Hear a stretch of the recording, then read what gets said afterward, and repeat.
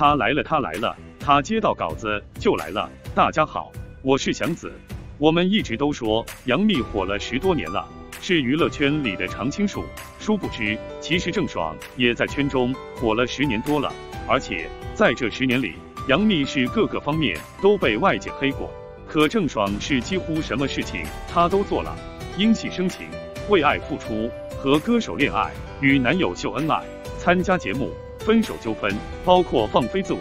可是做了这么多事情后，她依然是娱乐圈的当红小花，从没有缺席过热搜，依然有很多忠实的粉丝，这才是最让人佩服的。至于她是怎么做到的，可能是凭借她独特的个人魅力和出众的颜值吧。郑爽最近的热搜是退出追光吧哥哥后又重新加入。郑爽表示自己去协调退出了，但是没有协调成功而已。一个郑爽给一档节目带去了热度，应该没有哪个小花有这样的勇气和底气吧？郑爽豪宅，郑爽独立生活，郑爽前男友张恒等等。总而言之，关于郑爽的热搜词条实在是太多了。要是换做别人，早就被全网攻击了。可是郑爽在节目中的真实发言。却还俘获了不少路人的好感，哪怕他如今没有什么影视剧作品，一直流转于各个综艺节目，热度还是居高不下。只不过这样有热度的郑爽，最近也因为一件事情遭到了质疑。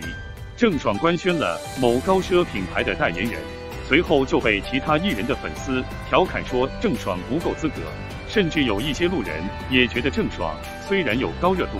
可是这样的高奢品牌找他代言的话，是不是有些不合适？但是在品牌的官微评论区里，我们能够明显的看到，郑爽粉丝的战斗力似乎丝毫不输给当红流量小生。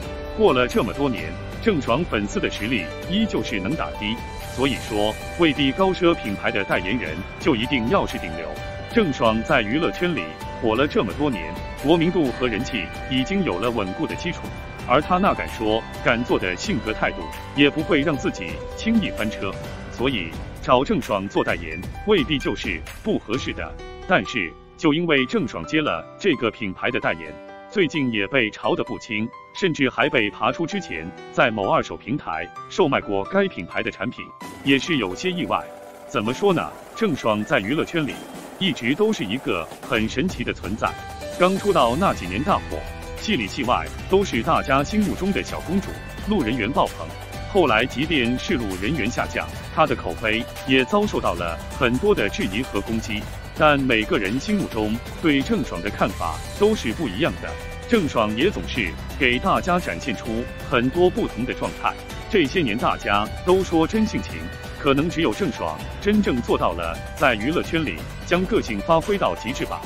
所以有人看不惯她，但也不能够否定，她依旧是火了十多年的女明星。有人说郑爽不演戏也挺好的，至少演技不用被吐槽，多参加一些综艺节目，或许能够让她的路人缘有所提升。毕竟谁不喜欢看郑爽的耿直吐槽呢？And，她走了，她走了，右下角点个赞，再走啊，老板。